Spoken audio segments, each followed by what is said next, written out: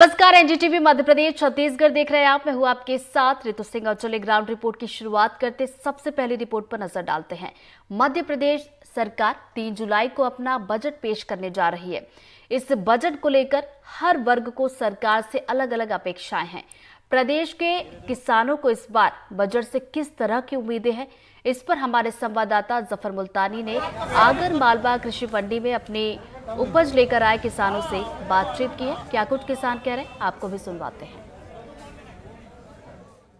तीन जुलाई को सरकार बजट पेश करने जा रही है। बजट यानी कि साल भर का लेखा जोखा आने वाले एक साल में सरकार क्या क्या प्रोग्राम पर कितना कितना खर्च करने वाली है, कितना मुनाफा हुआ, कितना घाटा हुआ, ये सब बजट में दिया जाता है। बजट में तमाम बातें की जाती है, हर वर्ग की बात की जाती है। एक वर्ग ऐसा भी है जो हमारी थाली तक अनाज पहुंचाता है, यानी देश का अन्नदाता किसान। किसान लोग यहाँ पर आप मौजूद है, ये वो जगह है, आगर मालवा की कृषि मंडी, जहाँ किसान लोग अपनी उपज बेचने के लिए आते हैं, और यहाँ जब उपज बिकती है, वो किसान के जेब में पैसा जाता है, यहीं से तय हो जाता है कि सरकार की नीतियाँ और दावे कितने जमीनी हकीकत में साबित होते हैं या नहीं होते तो इन किसानों से हम बात करते हैं जो परसों बजट आने वाला है। तो आपका नाम बताइए। डूंगर सिंह सिसोदिया नाम। नगर सिंह जी बजट आने वाला है कृषि की भी बात होगी तमाम सरकार कृषि कल्याण की बहुत सारी बातें करती है। आप क्या उम्मीद करते हैं इस बजट से? यदि बजट की ही आप पूछें तो बजट के विषय में बताऊँ लेकिन यदि आप हमारी हमदर्दी पूछें तो सरकार को ये बंदर बाट बंद कर देना चाहिए और लागत के आधार पर लाभकारी मूल्य देना चाहिए। एक माचिस की कीमत तय कर दी उनने। एक रुपए। वो बम्बई लोगे तो एक रुपए और आगर में लोगे तो एक रुपये ऐसी हर चीज़ की और हमारी आज तक लागत नहीं जोड़ी गई। इसको लागत जोड़ी जाए। हमारी हंकई, जूतई वगैरह, बिजली का बिल वगैरह सब जोड़ करके हमारा मूल्य तय किया जाए। होना चाहिए इनके लिए। आपका नाम बताइए। राघु सिंह चौहान। राघु सिंह जी, आप ये बताइए कि बजट जो है, क्या उम्मीद है किसान को? किस तरह की उम्मीद आप रखते हैं कि क्या दाम के बारे में या किसानों के लिए कोई विशेष पैकेज की उम्मीद है आपका हाँ जी हमारा कहना है कि लागत के आधार पर लाभकारी मूल्य होना चाहिए। खाद सस्ता होना चाहिए, बीज समय पर होना चाहिए, बिजली, पानी सस्ता मिलना चाहिए। तो किसान पर सड़क बिजली, पानी होगा और बीज समय पर मिलेगा तो देश का तो भंडार बढ़ जाएगा।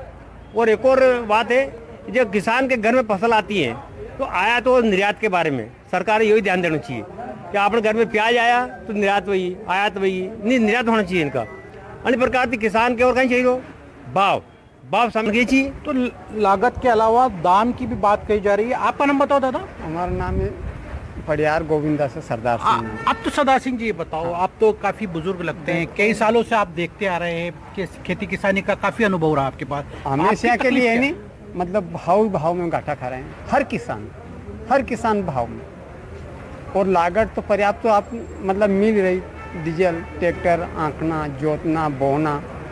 बिल्कुल मतलब भाव तो मिल ही नहीं रहा। है और अभी दो साल से तो इतना कम मिल रहा है कि जिनका छाती पर हाथ लगा के पूछो किसान से कि क्या हो हाल हाल चाल हो रहा है। तो बिगड़ी गई। और बाकी ये सोयाबीन में भी मतलब ये तो कम भाव के हद से ज़्यादा। भाई ये तो कोई भाव ही नहीं है।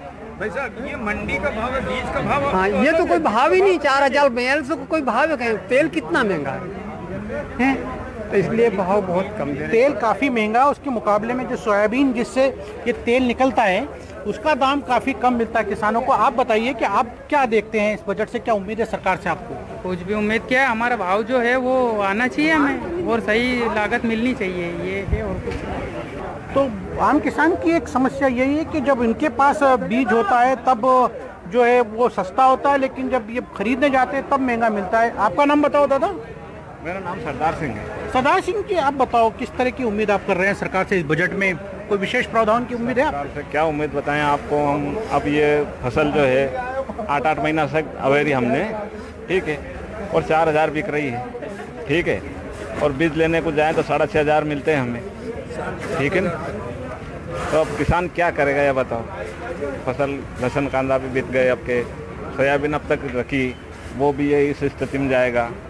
तो किसान क्या करेगा? कितना पसीना बहाता है किसान जो करता है वो जानता है। तो मिनिमम सपोर्ट प्राइस की बात करती है न्यूनतम समर्थन मूल्य की।